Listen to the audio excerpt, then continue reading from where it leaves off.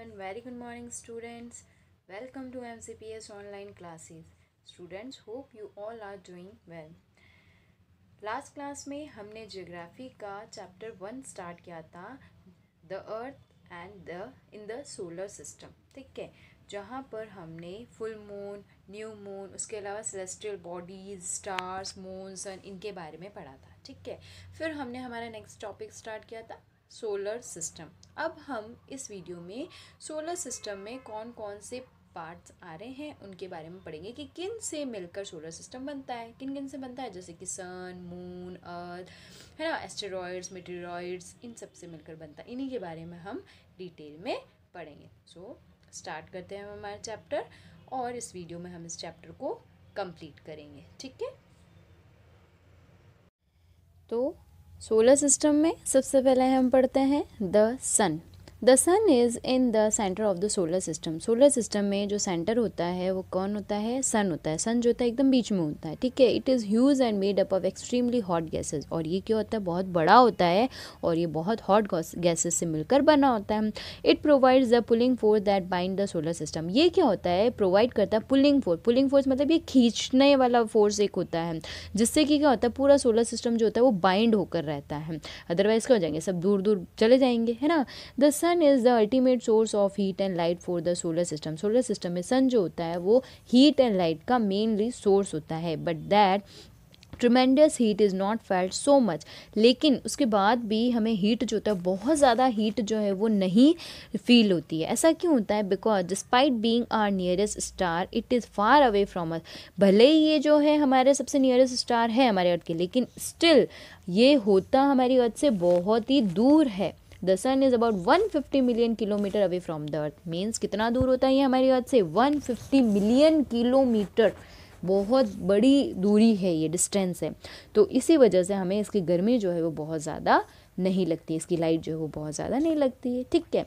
फिर इसके बाद सोलर सिस्टम में नेक्स्ट आता है प्लैनेट्स क्योंकि इन्हीं सारी चीज़ों से मिलकर बनता है solar system planets there are eight planets in our solar system हमारे सोलर सिस्टम में एट प्लैनेट्स हैं. In order of their distance from the sun sun से इनकी डिस्टेंस जो है जो है वो क्या है?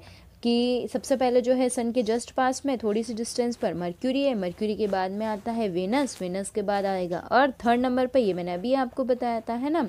फिर आएगा मार्स, जिसको हम बोलते हैं रेड प्लानट ऑल्सो देन है जुपिटर, सैटर्न, यूरेनस एंड सबसे फारदेस्ट मतलब सबसे दूर जो है वो कौन होता है? नेपट्ट्यून होता है। इसको देखो, यहाँ पर एक उन्होंने ना तरीका बताया कि इसको हम कैसे याद रख सकते हैं। तो कैसे याद रख सकते हैं? My very efficient mother just served us nuts ये एक लाइन अगर हम लर्न करेंगे ना तो हमें इनका पता चल जाएगा डिस्टेंस के अकॉर्डिंग कि कौन से जो पहले कौन आता है बाद में कौन आता है ठीक है? माई में एम मतलब मर्क्यूरी वी से वेरी में वी आ, ये हो गया एम से मर्क्यूरी वी से हो जाएगा विनस ई e से हो जाएगा अर्थ एम से हो जाएगा मार्स जे से जुपिटर देन एस से सेटर्न यू से यूरेनस एन से नेपट्ट्यून तो इस तरीके से इनका जो फ़र्स्ट लेटर है, वो वही इनका वही सीक्वेंस है हमारे प्लैनेट्स का। All the eight planets of the solar system move around the sun is fix path एक फिक्स पाथ होता है, जिसको क्या बोलते हैं? ऑर्बिट और इसी पाथ को वो क्या करते हैं? ये सारे प्लैनेट जो होते हैं, वो फॉलो करते हैं और सन के चारों तरफ़ क्या करते रहते हैं? चक्कर लगाते रहते हैं, घूमते रहते हैं। मर्क्यूरी जो होता है, वो सबसे नियरेस्ट होता है, ये मैं ऑलरेडी आपको बता चुकी हूँ। और ये कितना टाइम लेती है सन के चक्कर लगाने में? एटी डेज़ जब एटी डेज़ पूरे होते हैं ना, तभी अपना एक राउंड कंप्लीट करती है उस ऑर्बिट पर चलते हुए, उस पाथ पर चलते हुए, ठीक है? Venus is considered as earth twin Venus जो होता है, वो अर्थ का ट्विन कहलाता है। क्यों? क्योंकि ये साइज़ और शेप में बिल्कुल कैसा होता है? अर्थ के जैसा ही होता है। इसी वजह से बोलते हैं अर्थ ट्विन तो अगर क्वेश्चन आते हैं अर्थ ट्विन कौन सा प्लानट है? तो क्या हो जाएगा? वीनस सबसे पास कौन सा है? मर्क्यूरी सबसे दूर कौन सा है? नेपच्यून थर्ड नंबर पर कौन सा प्लानट आता है? अर्थ रेड प्लानट जो है, वो किसको कहते हैं? मार्स रिंग जो होती है जिसके चारों तरफ़ वो कौन सा है? जो हमें नज़र आ रही है दैट इज़ सैटन तो इस तरीके से ये वन वर्ड के क्वेश्चंस बनते हैं हमारे। ठीक है देन उसके बाद है टिल रिसेंटली अगस्त 2006 अब 2006 में एक प्लूटो जो है वो कंसिडर्ड हुआ प्लानट ठीक है? However in a meeting of the अब यहाँ पर इंटरनेशनल एस्ट्रोनॉमिकल यूनियन की मीटिंग हुई तो ये डिसीज़न हुआ कि प्लूटो जो है वो क्या है? अदर सेलेस्टियल ऑब्जेक्ट है, ठीक है? फिर उसके बाद यहाँ पर, जिसको हम ड्वार्फ प्लानट भी बोलते हैं। अच्छा एक और क्वेश्चन ये भी बनता है ड्वार्फ प्लानट कौन सा है? प्लूटो ठीक है? नेक्स्ट टॉपिक है हमारा अर्थ ये भी हमारा सोलर सिस्टम का पार्ट है और हमारे, हम अर्थ अर्थ में तो हमारी लाइफ एग्जिस्ट करती है, हम यही रहते हैं, ठीक है? The earth is a third nearest planet to the sun ये थर्ड नंबर पर आता है सन से थर्ड नंबर के नियरेस्ट प्लानट है और in size it is the fifth largest planet अगर साइज़ के कंपेरेटिवली हम देखें तो ये फिफ्थ लार्जेस्ट प्लानट है हमारे सोलर सिस्टम का. ये स्लाइटली फ्लैटेंड होता है. जैसे कि मैंने अभी आपको पिछले जो वीडियो था, उसमें मैंने आपको बताया था ना जियो इड जियोइड जियोइड क्या होता है? जिसका आ, वैसे तो वो सर्कल की तरह ही होता है लेकिन क्या होता है? उसका ऊपर से फ्लैट होती है वो थोड़ी सी है ना? पोल्स पर से। तो उसको क्या बोलते हैं? जियोइड बोलते हैं। Geoid means earth like shape ठीक है? फिर नेक्स्ट हमारा है conditions favourable to support life and probably found only on the earth हमारे अर्थ जो है, उसी पर ही सिर्फ़ लाइफ जो है, वो हमारी पॉसिबल है, क्योंकि यहाँ पर ऐसी कंडीशन है अर्थ पर जो कि हमारी लाइफ को क्या करती है सपोर्ट करती है फेवरेबल कंडीशंस होती है हमारे लिए ह्यूमन के लिए. The earth is neither too hot not too cool earth जो होती है, वो ही ना तो ज़्यादा, बहुत ज़्यादा गर्म होती है और ना ही बहुत ज़्यादा ठंडी होती है.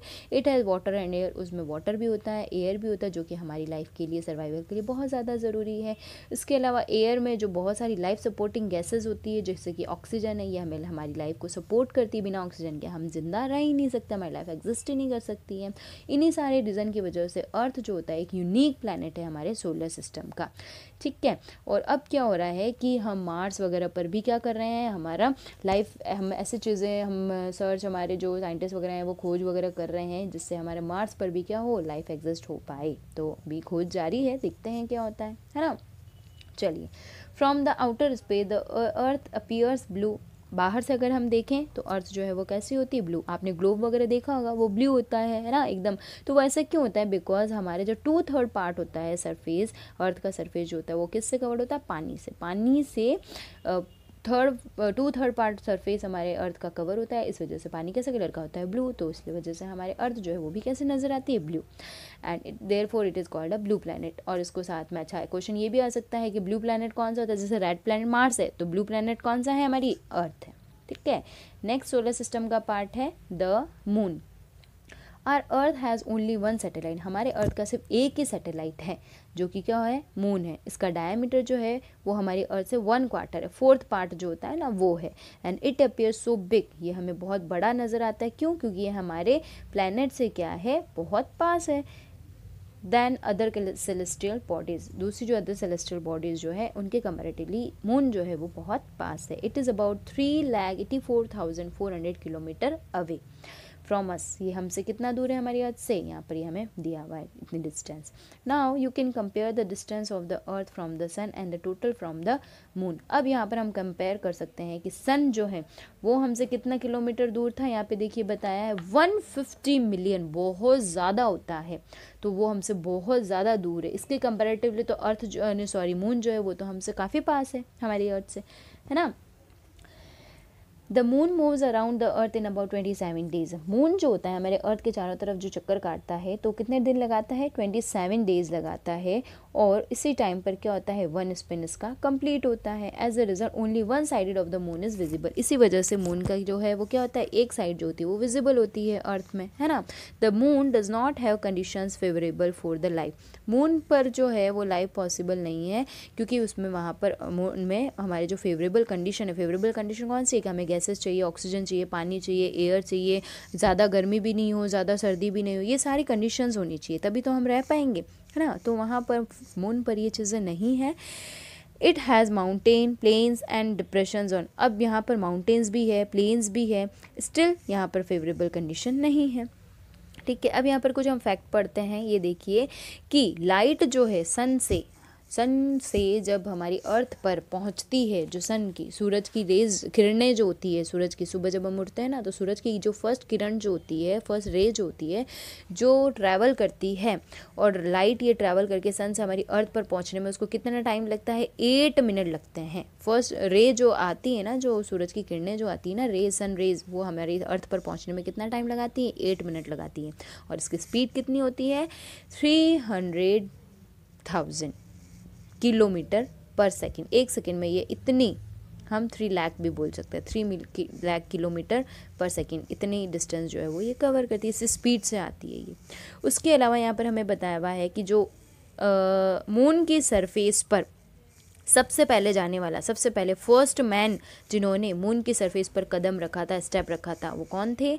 नील आर्मस्ट्रॉन्ग थे। नील आर्मस्ट्रॉन्ग ठीक है कब रखा था? 20 जुलाई 1969 में। अब आपके लिए क्वेश्चन है कि अच्छा हमारे इंडिया में कौन ऐसे साइंटिस्ट थे जिन्होंने मून पर फर्स्टली पैर रखा था? यह आपको बताना है मुझे, ठीक है? फिर यहाँ पर सैटेलाइट्स के बारे में बताया कि सैटेलाइट्स वो सेलेस्टियल बॉडीज़ होती है जो कि हमारे प्लैनेट्स के चारों तरफ़ क्या करती रहती है? चक्कर काटती रहती है। और सन के चारों तरफ़ भी चक्कर काटती रहती है। और ह्यूमन मेड सैटेलाइट कुछ जो सैटेलाइट जो होती है वो ह्यूमन इंसान भी क्या करने लग गया है? सैटेलाइट बनाने लग गया है और वो क्या करता है? रॉकेट के थ्रू वहाँ पर सोलर सिस्टम में भेजते हैं, जिससे क्या हो, हम यूनिवर्स के बारे में पता चल सके, हमें दूसरे जो प्लानट्स हैं उनके बारे में साइंटिस्ट जो है वो जानकारी इन्फॉर्मेशन निकालते हैं, वो मार्स पर हम ये लाइफ एग्जिस्ट हो पाएगी कि नहीं हो पाएगी, ये सोचते हैं। ये देखिए यहाँ पर हमें कुछ रॉकेट लॉन्च हुआ है। लॉन्च होने के बाद जो है falls back to the earth जो वो तो वापस आ जाएगा और सैटेलाइट जो है वहाँ पर ऑर्बिट में एंटर हो जाएगी। फिर ये जो इस तरह की सैटेलाइट, आपने मूवीज़ वगैरह में देखा होगा, कार्टून वगैरह में तो क्या करती है? ये चारों तरफ़, सन के चारों तरफ़ और अर्थ के चारों तरफ़, दूसरे प्लानट के चारों तरफ़ भी ये घूमती रहती है। तो ये मैन मेड होती है है ना? अभी अगर हम देखते हैं कि कुछ सैटेलाइट कौन सी है जो कि इंडिया से भेजी गई है स्पेस में, वो कौन सी है? INSAT I R S EDUSAT ये आपको याद होनी चाहिए। ये इंपॉर्टेंट है, ठीक है? नेक्स्ट हम देखते हैं हमारा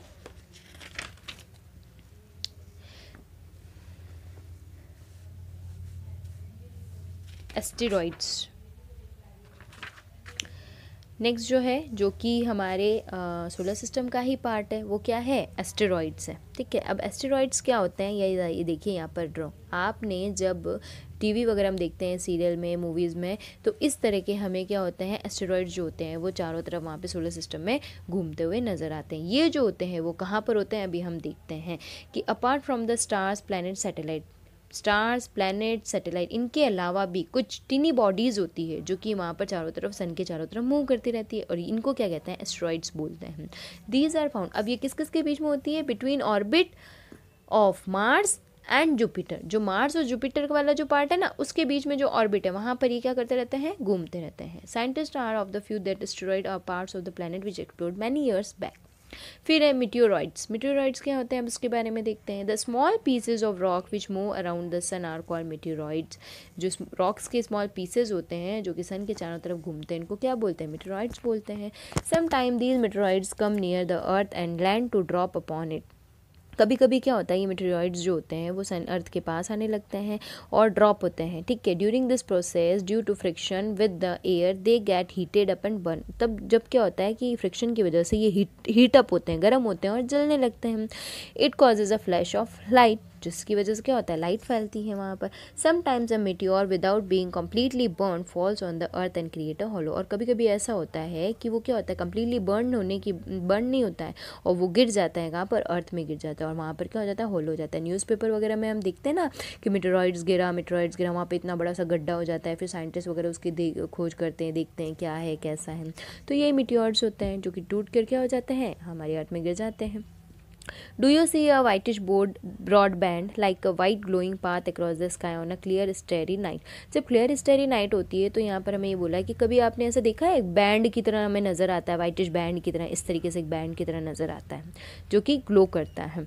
It is a cluster of millions of star ये क्या होता है? बहुत सारे मिलियंस ऑफ़ स्टार का क्लस्टर होता है ग्रुप होता है। This band is the milky way galaxy, इसको क्या बोलते हैं? Milky way galaxy. ये भी क्वेश्चन होता है कि मिल्की वे गैलेक्सी क्या होता है?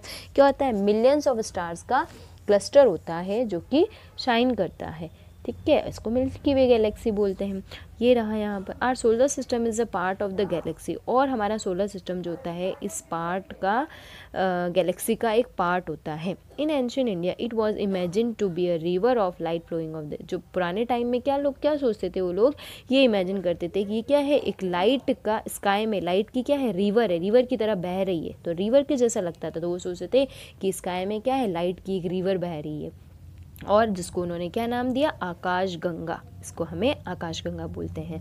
A galaxy is huge system of billions of star billions of stars का एक ग्रुप होता है और clouds of dust and gases इन सब का ग्रुप जो होता है वो क्या कहलाता है? गैलेक्सी कहलाता है। There are millions of such galaxies that make the uni और बहुत सारी गैलेक्सीज मिलकर क्या बना देती है? यूनिवर्स बना देती है। And it is difficult to imagine how big the और हमें ये इमेजिन भी नहीं कर सकते हैं कि हमारा यूनिवर्स कितना बड़ा है। साइंटिस्ट जो हैं वो अभी भी क्या करते हैं? इस पर बहुत सारे रिसर्च रिसर्च करते हैं ट्राई करते हैं बहुत सारी चीज़ें खोजने की और इसमें हम इसकी साइज़ हम इसको नहीं बता सकते हैं कि इसकी क्या साइज़ है। ठीक है? फिर यही सब क्या है? यूनिवर्स है। अब यहाँ पर हमारा एक लास्ट टॉपिक बचा है, छोटा सा जिसमें हमें ये बताया है कि can you relate yourself with the universe now क्या अब आप अपने आप को एक यूनिवर्स में मानते हैं कि नहीं मानते हैं? You are on the earth हम लोग क्या हैं? अर्थ में हैं। अर्थ जो है, वो क्या है, किसका पार्ट है? सोलर सिस्टम का। सबसे पहले हमारी बात हो रही है तो हम अर्थ में हैं। अर्थ किसका पार्ट होता है? सोलर सिस्टम क्योंकि सोलर सिस्टम में अर्थ होता है। अब ये सोलर सिस्टम जो होता है, वो किसका पार्ट होता है? मिल्की वे का पार्ट होता है। मिल्की वे गैलेक्सी का पार्ट होता है। ये मिल्की वे गैलेक्सी जो है, वो किसका पार्ट होता है? यूनिवर्स का पार्ट होता है। तो हम खुद भी क्या हो गए? यूनिवर्स का हिस्सा हो गए, है ना? तो ये सारी चीज़ें मिलकर क्या बन जाती है? यूनिवर्स बन जाता है। तो यही था बच्चों हमारा चैप्टर होप कि आपको समझ आया होगा। आप वीडियो देखने के साथ साथ क्या करिएगा? चैप्टर भी अपनी बुक में से रीड करिएगा तो आपके और भी बहुत अच्छे से समझ आ जाएगा। अब यहाँ पर हमें कुछ बुक एक्सरसाइज दी है, जिनकी पीडीएफ फ़ाइल मैं आपको भेजूँगी। आप इस बुक को अपनी नोटबुक में कंप्लीट करिएगा और अच्छे से लर्न करिएगा। तो स्टूडेंट नेक्स्ट क्लास में हम न्यू चैप्टर स्टार्ट करेंगे। Stay home stay safe thank you